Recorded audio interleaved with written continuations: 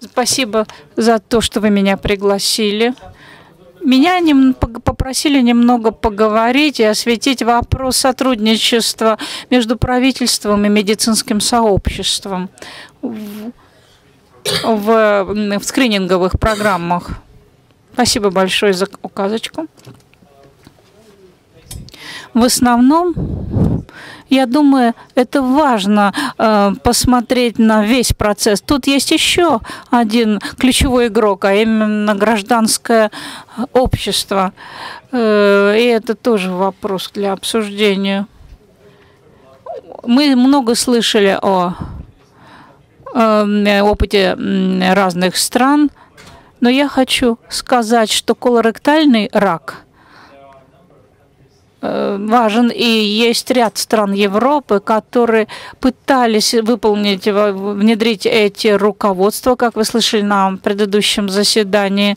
И один из наиболее недавних э, усилий по продвижению от да, может быть, сравнимые с профилактическими осмотрами, с диспансеризацией. Это вот новая такая схема осмотра населения в Германии, которая из, теперь уже из, поменялась, изменилась и включила раннее выявление колоректального рака. Теперь уже вот в соответствии с европейскими рекомендациями уже этот скрин, программа скрининга проводится на уровне популяции. И я хочу вот такие некоторые ключевые моменты осветить.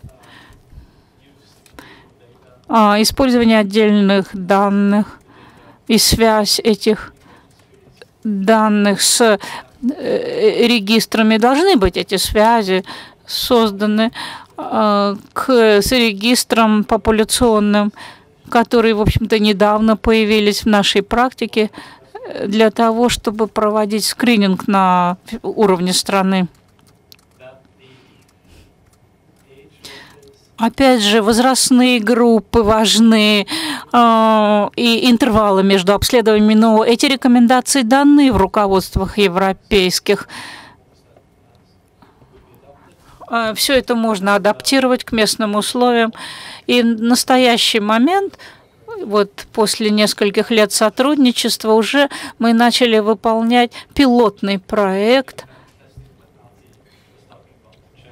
Ну вот сейчас мы поговорим об этом подходе. Ну вот пока один такой пример э, того, что происходит, и э, вот того, что должно сделать правительство для того, чтобы скрининг проводился.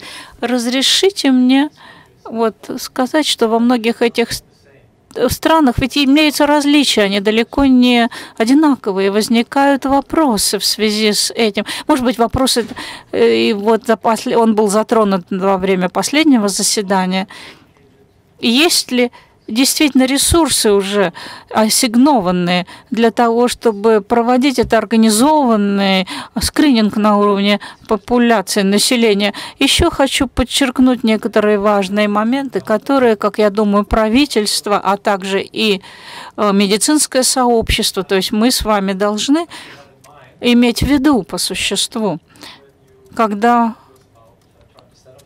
вы такую программу э, планируете, что наиболее важно? Скрининговая программа должна э, себя быть самоуправляемой. Люди, которые отвечают за эту программу, должны э, э, нести какую-то общественную ответственность.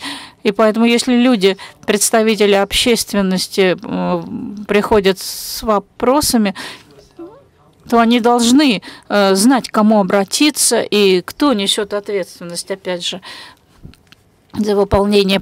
Это и если э, менеджмент управления этим программам не, не являются э, э, известными и нет ресурсов для введения этой программы, то тогда и можно только удивиться, если такая программа достигнет э, результатов. И требует она не только умения, способности работать с сотрудниками и э, с теми, кто оказывает услуги, но также это означает и бюджетный контроль программы. Поэтому, если, опять же, если без контроля ресурсов тоже не стоит ожидать э, положительных результатов. Итак, правительствам необходимо иметь, амби...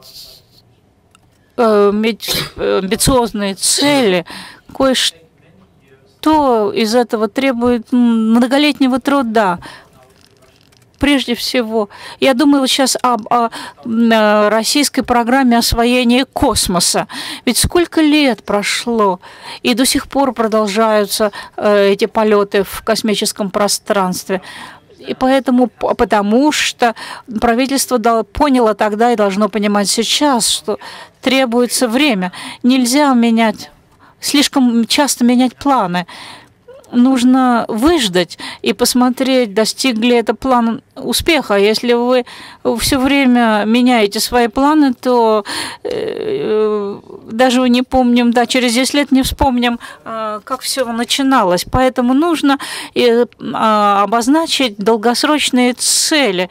И есть, может быть, правительство должно даже принять специальный закон о скрининге с тем, чтобы убедиться, что программа э, достойно проводится, э, ей уделяют достаточно внимания, и, а, и, и э, она получает финансирование, это вовсе не значит, что она как-то независима или э, нереально. Правительство должно убедиться, что программа проводится достойным образом. Все это требует достаточно много времени и э, требует длительного и адекватной финансовой поддержки.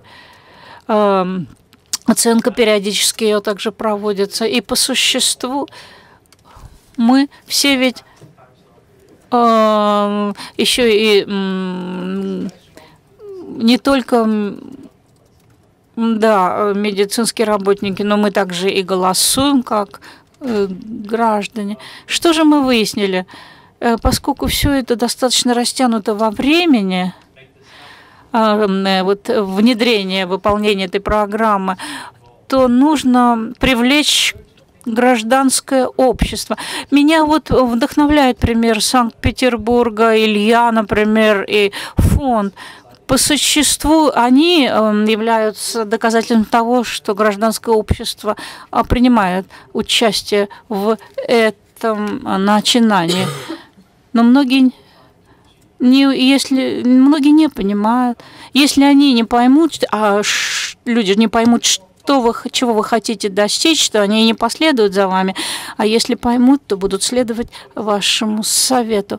Поэтому это исключительно важно привлечь вот таких людей и постоянно обсуждать с населением, а, что, о чем а, идет речь и каковы цели и задачи данной программы.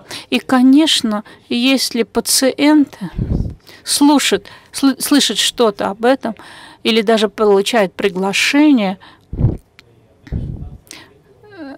ну, например, вот от Министерства здравоохранения, это хорошо, а потом может быть, вы, медики, представители медицинской общественности, тоже не знаете, что происходит, то, вероятно, вы не будете давать нужных советов. Поэтому гражданское общество, правительство и медицинские э, специалисты э, должны принимать участие в этом программе. И, конечно, медицинское сообщество э, не только принимает участие, но непосредственно оказывает необходимые услуги. Если программа, опять же, правительство и медицинское сообщество собираются и э, разрабатывают стандарты программ, тогда успех э, э, достижим. Итак, правительство, да, действительно, да, ну, ассигнует ресурсы для того, чтобы специализироваться в скрининге для тех, кто имеет интерес к этому этой сфере деятельности. Кроме того, у нас, да, нам необходима поддержка от ракового регистра онкологической базы данных для того, чтобы отслеживать деятельность, проводить мониторинг и э, отражать, документально отражать изменения. Кроме того, сотрудничество между регистром скрининга и регистром онкологических заболеваний воистину важен. И многие из моих деятельностей, например, в Германии, тоже а, относились как раз к скрининговым программам. И после этого, через 10 лет после начала, правительство э, тоже эм, решила учредить такую программу колоректального скрининга на популяционном уровне. И вот потом все остальные регионы страны тоже присоединились к программе, стали поддерживать регистр онкологических заболеваний. А теперь это уже стало законом. Э, и что еще очень важно для людей, которые работают в этом регистре, они тоже должны принимать участие в наших делах. Их, конечно, задача, в их задачи входит документально отразить, но и проанализировать, но и это еще не все. Как а, претворить все вот эти вот э, теоретические, можно сказать, э, результаты, э, как внедрить их в практику. И так вот это ключевые составные, основные ключевые части, составные части этой работы. Но есть разные способы, разные э, пути решения каждой из этих проблем. Но э, есть определенные закономерности, определенные последовательности, если хотите, вехи на пути, э, на данном э, пути. Первое, что я хотел бы сказать. Первое. А начать нужно с а, хорошего понимания о том, к чему вы хотите прийти. Под вами я поднимаю правительство, общественность, ну, население, понятно, гражданское общество. Я вот смотрю на некоторые страны, которых это очень много времени занимает, и понимаю, что одна из причин в том, что когда люди думают о скрининге, никто э, ну, на на этапе задумки никто не чувствует определенной ответственности.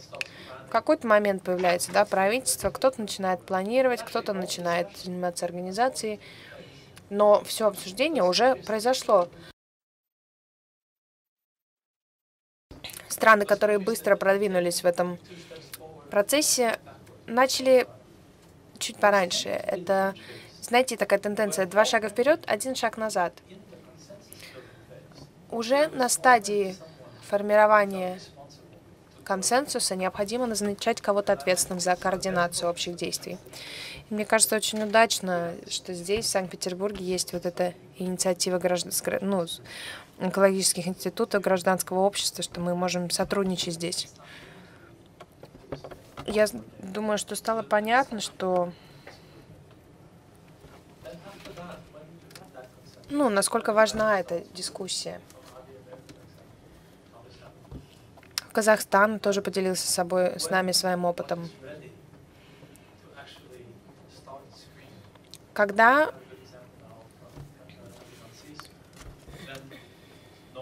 как вот мы видели в Ханты-Мансийске, э, начинают реализовывать программу скрининга, то необходимо пройти э, ну, проверку того, насколько он функционален, да.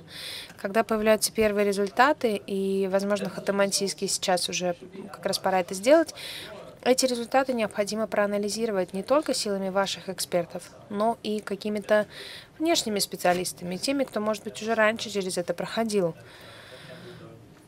Люди, которые, может быть, более опытные, люди, которые смогут распознать какие-то проблемы. Это позволит ускорить процесс в тех или иных странах.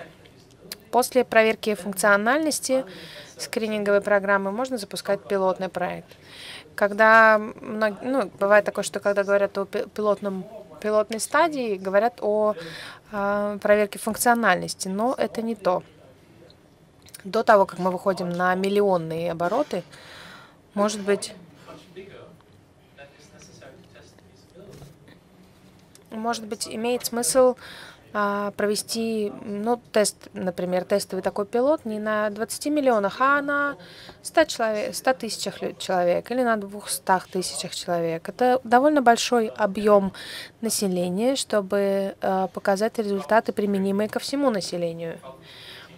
И, тем не менее, не такой масштабный, чтобы можно было распознать те проблемы. Проблема доступа, предоставления услуг, проблема обучения, что-то еще. Ну, это, да, знаете, как посмотреть через микроскоп на все происходящее.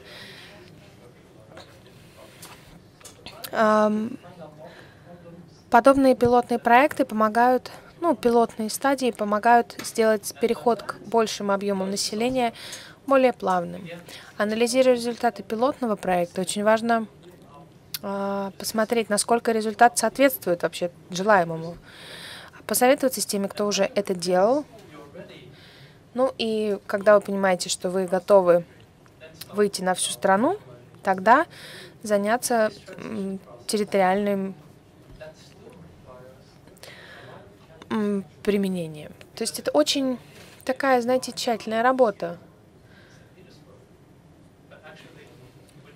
Когда мы выходим на большие территориальные масштабы, здесь проблемы становятся тоже иного масштаба, и нужно гораздо внимательнее готовиться. Именно вот этот, даже на стадии просто изменения масштаба уже нужно очень четко вводить систему контроля. В Финляндии а, есть, ну, как бы назначается группа рабочая на каждую стадию.